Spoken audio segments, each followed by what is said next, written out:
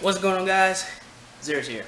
So, Essence of Thought responded, and it's a pretty good response video, I will admit. You know, but um, I'm going to come back, combat some of his points, and uh, clear up some of the arguments that I made. Uh, so, you know, if you guys want to skip this video, I mean, it's not my typical anti-feminist videos, so that's fine. But um, before we jump right into this, I'm going to have to say, um, you know, someone commented and said that um, that I was being hypocritical, I was being very condescending and very snarky. And uh, so I watched my video over, and I realized, yeah, there were some points where I was being a little condescending, uh, probably really condescending, and I was being very, uh, I was being very snarky. But my snarkiness uh, is an element that I purposely put in these videos. You know, because there's, there's, like I said earlier, uh, in one of my earlier videos, there's definitely a uh, theatrical element that comes to these videos because they are long. I want them to keep your attention. You know, so when I make the facial expressions, the snarkiness, some of the anger, it, it, it is theatrical. It is to keep uh, your attention. You know, but like I said, like usually if anything like legitimately makes me upset, like I will say I'm legitimately angry about it. You know, but for the most part, it is uh, theatricality. You know, and again, like my snarkiness is definitely something a lot of people like. So, uh, yeah. You know, so with that being said, man, uh, I'll definitely apologize if, uh, you know, uh, Peter, if you were offended or if your feelings were hurt. And I don't mean this as like sarcastically apologizing to social justice warriors. I mean like honestly, if you feel like, you know, I hit you below the belt, I will apologize for that. I will say sorry. I will concede. That being said, you know, uh, let's respond.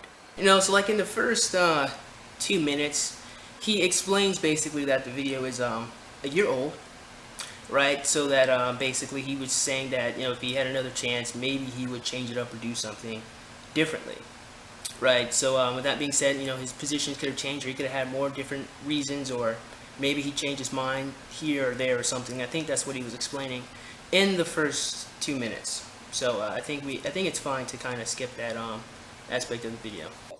So, yes, some atheists are definitely militant. And yet, the point of my comment was to acknowledge the fact that when talking about militant with religious individuals, you are talking about violent and homicidal individuals. However, when talking about militant and atheist, you are mainly just talking about people who go out and give their opinion and religious individuals don't like that as such. I fail to see the way in which you disputed this. So, not to be condescending, but I mean, the English language is a pretty hard language to truly encapsulate, you know, both meanings and definitions. And I know we try all the time, but we kind of fail, right? So um, when people, uh, when I say, I guess Christians or uh, libertarians or anarcho-capitalists, when they say, you know, these militant atheists, they're not using the word militant in the concept, in the context of being violent or, uh, uh, yeah, I think I think violent is a is the best word. They're not using it in the sense that atheists are violent, because clearly they're not. I mean, just because you're an atheist doesn't mean you're violent. You know what I'm saying? But um, what what the word means, you know, if you take a look at the definition, it says uh, it can be extreme, violent, or confrontational. So that or means that there are separate definitions within the definition, which means militant does not necessarily always mean violent. It it can mean confrontational, and there are a lot of atheists who are indeed confrontational. That's you know that's the English language, my friend. You know, different words within its definition can then spread out and have different meanings and definitions within the words. You know, you have the denotation and the connotation. You know, so that it's not saying that atheists are violent. I mean, I know atheists are not violent by proxy of being atheists. That's a foolish thing to say. But that's what that's part of the definition of the word militant, confrontational. And, and if, an, if an atheist is being confrontational, then yes, the word a militant atheist does make sense in that context. Well, I have my reasons for standing up and airing my opinion in a peaceful manner. Although very peaceful, you do it in a very condescending manner. And in fact, it's, it's more so condescending than it is peaceful.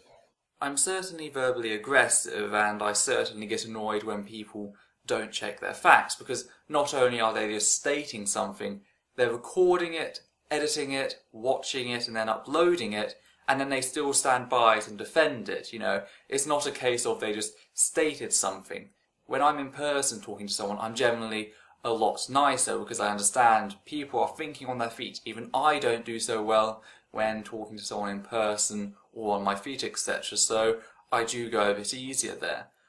Um, however, say I am patronizing, I am condescending, that's in no way exclusive with peaceful. So the point of saying that you are indeed condescending was to uh, was an attempt to get you to kind of look outside yourself for a second.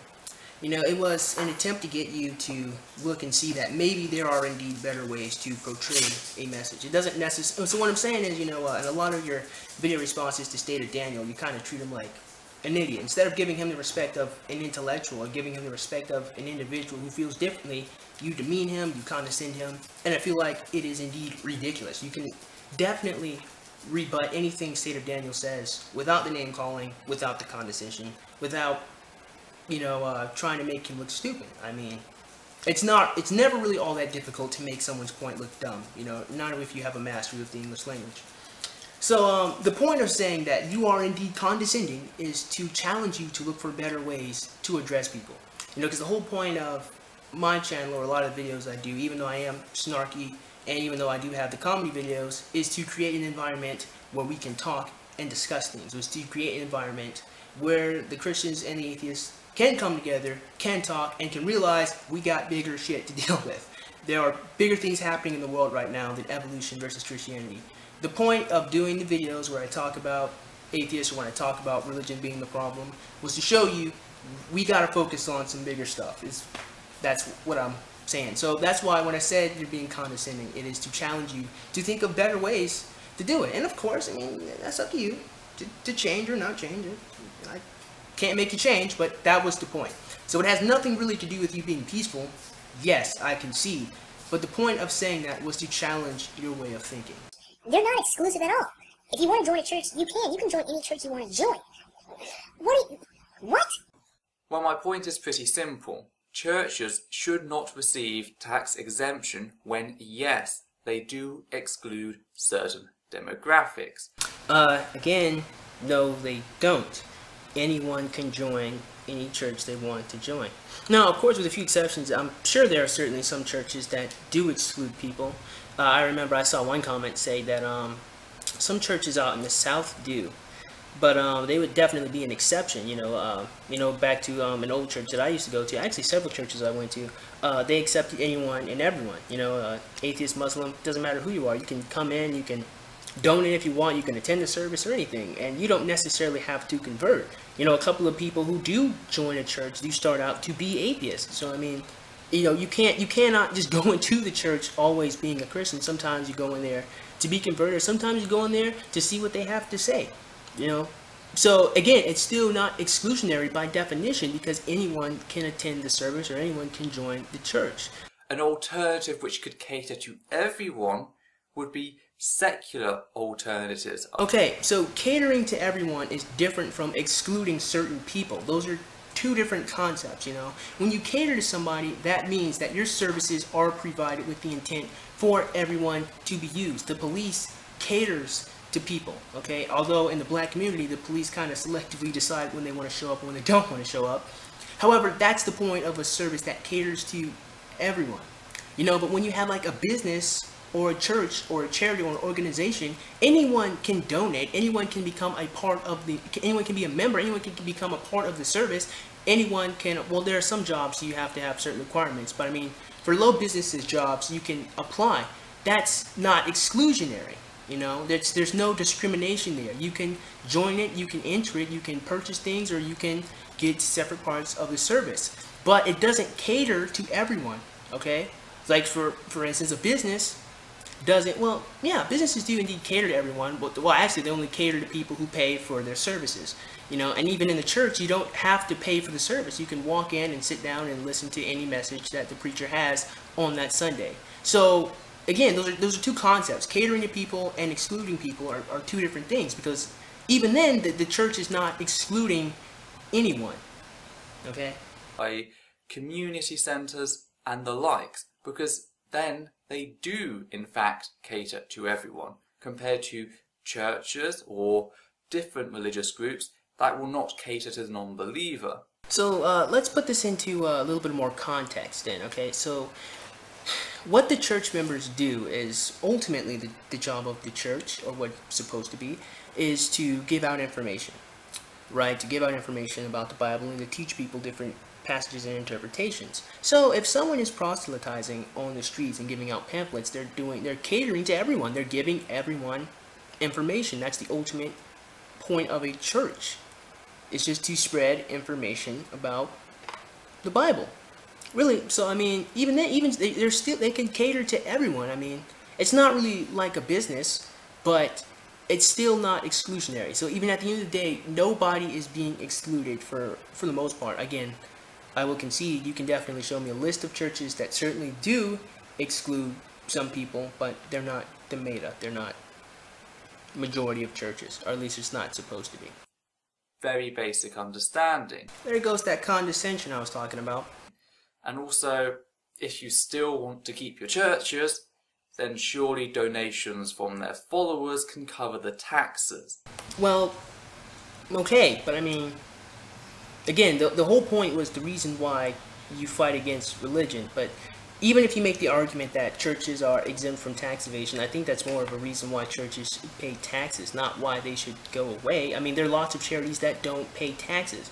So, by that logic, you are saying that since any organization that doesn't pay any type of taxes or faces tax exemption should go away, and that also includes different military organizations and different charities. So, I mean, when it comes to the overall theme of my video, which is you're not really battling against religion, you're really battling against other problems, it still kind of fits into that. And why is it that they receive such a privilege? The answer is pretty obvious. It's because churches solely survive based on the donations given to them by their members. Members who could be anyone, any race, any sex, anything. Anyone can be a member of any church they so choose. And again, churches survive off of the donations given to them by their members. Because they're all donations. You cannot tax somebody's donation. No, that's a false statement. Churches often have businesses out of the back of their churches or even purchase property to rent out or to sell on, etc. Okay, so later in the video, I um, described that some churches do survive solely based off of donations. Some churches do. Then you have other churches, which I had mentioned later in the video, like EX Ministries sells DVDs. Some churches, he's right, do have um, backdoor businesses, like they'll sell different types of pastries and stuff like that, and they do rent property. Yeah, all that's true. However, it, it doesn't change the fact that some churches do survive solely based off of donations, and donations themselves cannot be taxed by the U.S. government because you're giving them money. So, uh, okay, so I mean, I guess he may have added some more information about different churches, but I mean, that's not all churches. You know, that's not every single church. That, I mean, the, the church is a huge umbrella where you have different organizations within that umbrella. So I mean, if you point and click out different organizations like the Catholic Church, I mean, yeah, you'll be right in this situation, but not right in the other situation. Um, I, let's just do some basic maths, right?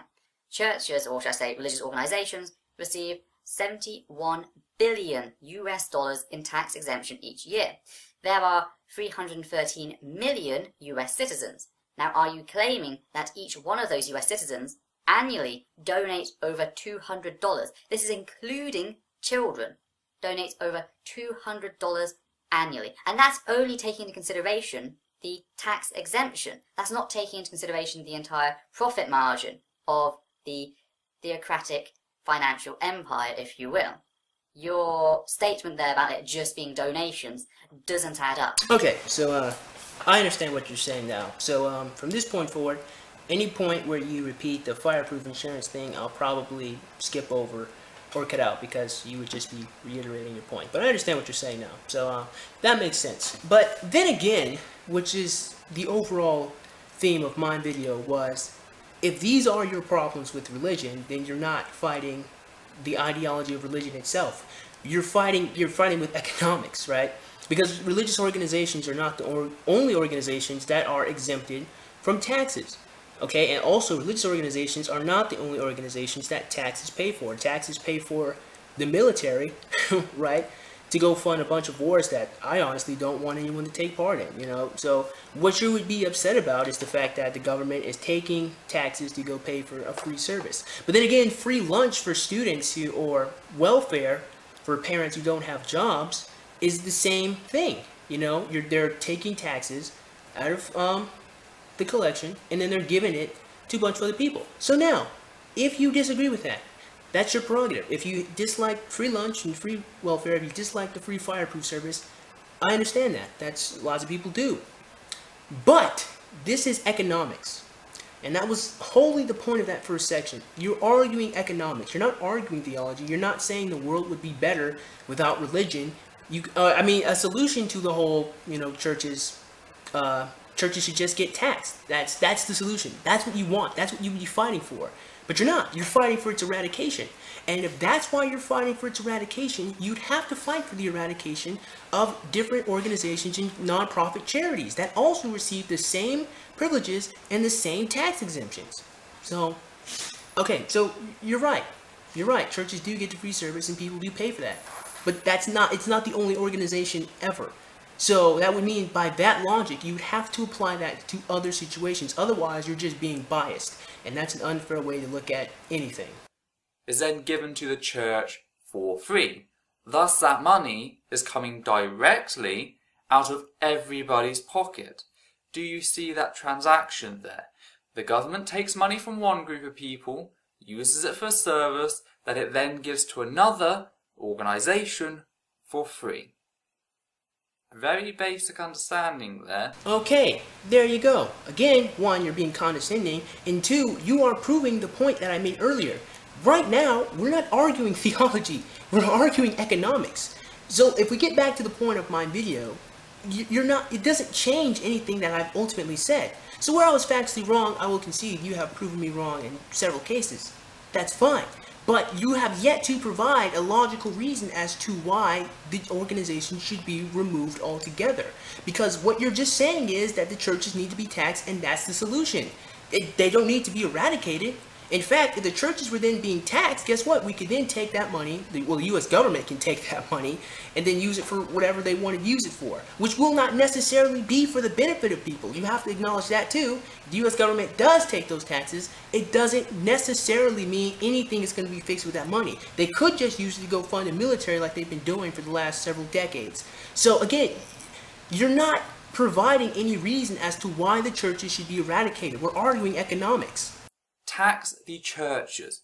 If that church should survive, then surely God will will the people to donate a little bit more to cover that tax difference. I mean, I guess. I, okay, again, we're still arguing economics, so uh, I'm not sure why you threw that in there. 30 billion US dollars over a decade could eradicate world hunger, regardless of religious affiliation. How? Seriously, how? Are, are the children going to eat the green dollars? How is money going to solve world hunger? No, to be completely literal, food is going to solve world hunger, or more specifically, the production of food. Not even I'm that condescending. Yes, I know about agriculture. Yes, I know about infrastructure. I was merely giving people a quantifiable amount which was given by the UN. Well done. Oh, oh, thank, thank you, thank you, thank you, Master, I, I know you're not here to, you know, pat me on the head, you know, but, but thank you for being so condescending again. I, I you know, yeah, all that sarcasm aside, man. I guess I was kind of hoping we could not get into the whole condescension thing, but I guess not. But, um, to actually respond to your point, uh, again, we're arguing economics. Even still, you what you've done is you've made the assumption that should you get rid of the church or the organization or the religion, that they're going to take the money or the proceeds of taxes and then put it towards, I guess, ending world hunger or put it towards something positive. Well, not necessarily. That's not true. In fact, they could just take all that money and just fund it into the military like the U.S. government does for most things, or they can take that money and use it to fund different types of welfare, not necessarily ending world hunger, not necessarily doing anything positive. It could be absolutely negative. They could take that money and use it to build up um, prisons. And, you know, you might say that that is a uh, slippery slope argument fallacy, but no, it's not a slippery slope. It's definitely possible. That could definitely happen if they take the money and use it to build up other organizations. Well, that's not a slippery slope. That could happen. So.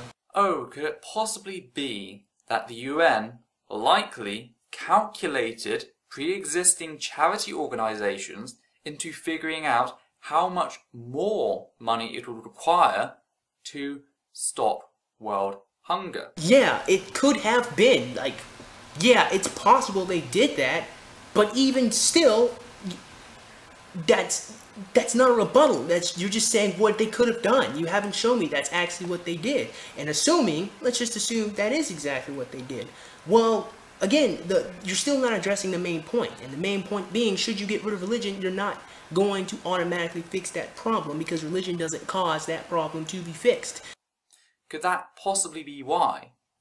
Also, could it possibly be the fact that no, these organizations do not have that 30 billion dollars? And to answer your question, yeah, it's possible. That doesn't mean that it's necessarily the case. I mean, giving me a suggestion of what could be reality is not the same as correctly telling me or describing what reality is. I, so to answer your question, yeah, it could be possible. But I mean, it doesn't change my earlier point or the overall theme of the video.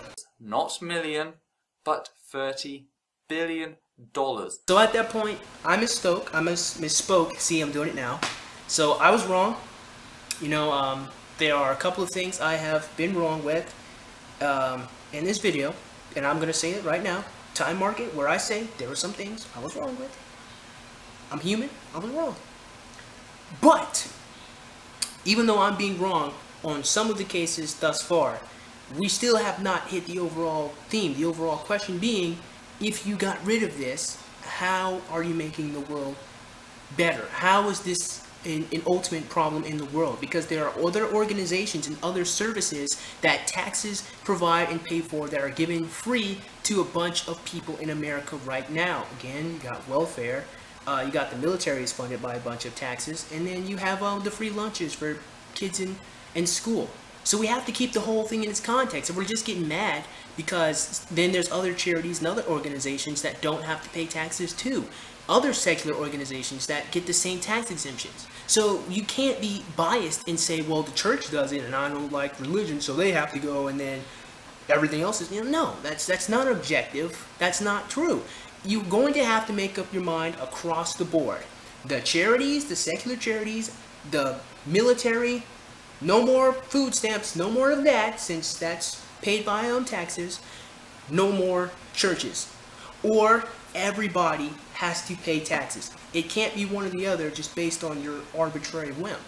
Annually secured over a steady period of time. Your argument is pretty much these people are not fixing the issue instantly. Therefore, no, we shouldn't give them any more resources that they actually require to do so. Be designed to end world hunger. Your case isn't looking too good right now, Essence of Thought. Why? Because in the overall message of the video, you have still not demonstrated how getting rid of religion is going to fix any of the problems in the world. That is why your argument, your case is, your case still doesn't look good because we've been arguing economics this whole time. The money would just be rerouted to secular charities. How would you know that? The only way you would be able to do that is if you were a representative in the US government and you wrote a bill in order to get that to happen. Otherwise, the US government can just take that money and do what whatever they will. Okay, so again, I keep saying this over and over again. You haven't shown me that getting rid of religion is going to fix any of the world's problems.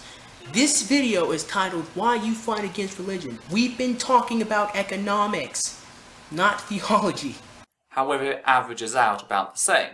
So it wouldn't decrease the money going in. It would just mean that it would be rerouted somewhere where it could be used more effectively. If the US government was, that would be strictly against the First Amendment of the US Constitution. Then we agree by the Constitution that these churches and these organizations must be taxed because they are reliant upon services which, yes, the non-religious individuals are also footing the bill for. So, really, you're only half right. Because what the taxes are indeed paying for is the fireproof protection and other services that the government provides to the church. However, if we want to be literal and very specific, they're not technically paying for the church itself. They're paying for benefits that the church gets for being a church. But that's not paying for the building. That's not paying for the service. That's not paying for the books. That's not paying for the DVD production. That's not paying for any of that. It's paying for the services. So, again, I can see. Indirectly, they're paying for services the church gets, but they're not technically paying for the church building itself. Right? So, what you would want is the churches to be taxed. Okay? And by proxy, every other tax exempted organization must also be taxed too. Throughout history, religion has proven itself time and time again to be the reason or even the excuse behind the most heinous of occurrences. You want to know what else has been used as an excuse? The theory of evolution. Rage, anger, frustration, the fact that some races are not as superior as others. Those are also excuses used to do very horrible things to people. Uh, in 1871, I think uh, the U.S. government scrapped all treaties with Native Americans because they thought that they were a race of stupid natives and didn't know what was going on. And then they forced them to go traverse the Trail of Tears on reservations. Nothing to do with religion, and yet an entire group of people lost their homes because someone thought that they were inferior. N- nothing to do with religion, just because, you know, just because the U.S. government wanted the land. And you've linked that to evolutionary theory how? I haven't. Those were two separate examples. The first section of that clip was me explaining different reasons or different excuses people use to murder or justify killing someone. That's its own bubble. The next thing was an example of an atrocity, something horrible happening to a group of people that had nothing to do with religion. They are two separate things in the same clip. However, they're not, they're not necessarily related to one another. I'm not saying they did that because of theory of evolution, because as it turns out, I was wrong. It was actually the Native American Registration, not, not registration, but um, Removal Act was ratified in 1830, and the Trail of Tears occurred in 1838. So I was wrong. So by saying that, the theory of evolution, I don't even think was published by then. But the point that I was making was that an atrocity, something horrible that happened to a group of people occurred not because of religion, but because of selfish men trying to gain power. So, Evolution is a field of science. thank you for explaining that to me. I, I didn't know. I'm just, uh, you know, I'm a, I'm a, I'm dumb, I'm a dumbass. I'm dumb. I'm stupid. I'm, I'm ignorant. But thank you for explaining that to me. I, I had no idea. I really didn't. I, I'm just dumb. It is amoral. Darwin himself, however, did not agree with the idea of superior races. Cultures is a different matter, but superior races he was against to the point that he was an abolitionist before the American Civil War had taken place in the US. That's fantastic. But it actually kind of serves a pretty good argument I'm about to make right here. So you're saying that Darwin didn't believe that some races were in more superior than others. Okay, that's fine. Darwin wasn't racist, I guess. I can conduct some more research to see if that's true or not, but I'm going to take your word for it. That being the case, I can then say that Jesus Christ, the Son of God, or allegedly the Son of God, uh, gave a whole bunch of wisdom to people, right? And there's several different books that his apostles wrote. And he said, love others as you love yourself. And people can take that out of context and use it to do horrible things. If anything, all you have done is strengthen the point that I've made. Because the theory of evolution itself is a theory to explain why things are the way they are. Right? And yet, people have still used it as a reason or an excuse as to why they can wipe out an entire race of people. It was still being used to do something bad. That doesn't mean the theory itself is bad. It means what the people did with the misinformation or the misunderstanding are horrible. Which goes back to my original theme. It doesn't matter if you get rid of religion because the ultimate problem are men vying for power. And talking of the American Civil War, it is the Bible that teaches that certain groups of people and certain demographics are the superior, and that you may keep men from different nations indefinitely. Yeah, exactly. And it was the same Bible that was used to prevent a case against that. First, let's talk about context. Uh, I think those, uh, actually, you're going to have to show me where in the Bible uh, that is, because again, I'm stupid. but even then, it was the same Bible that was used to defend by the abolitionists that the blacks should be able to go free. And the argument was, well, since God gave us free will, then all races, everybody, should be able to be free to make their own decisions. The same Bible used to convey two different points, right? So, okay, I, I, yeah, you're right, but I mean, the counter argument came from the same Bible. And even if the people interpreted it that way, it still doesn't mean that they weren't wrong. Now you're going to probably ask, how do I know they weren't wrong? And I will be honest, I don't know. It just doesn't necessarily mean they were correct, just because I don't know if they were wrong or right. This was used as justification for slavery during the Civil War. Boom. Mic drop. Dropped mic. So there's going to be a sequel um, to Essence of Thoughts video. He said that I was special. He said that I'm a special guy. I feel so good about myself.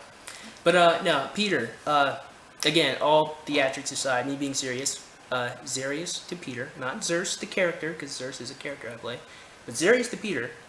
If you want, you know, we could have a Google Hangout and we can discuss this because your next response, I don't know how long it will be. I don't know if I should make the whole thing. So I think a Google Hangout would be good so we can talk this out, you know, and that way all the condescension, all the condescending and all the theatrics, we're gonna throw that out of the door. We're gonna come in like adults and we're gonna talk it out. We can do that, but that's up to you. If you want to do it, it's your choice. And to anyone else who, you know, stuck by and watched this video, man, I want to say, you know, thanks. You didn't have to check this out. This is from me to Peter, but, you know, if you hung by, thanks. But, um, yeah, it's that time. So, guys, if you like this video, please go ahead and click that like button. Go ahead and click that subscribe button. Comment in the comment box below. And as always, have a great day. I'll see you cool cats soon. Adiós.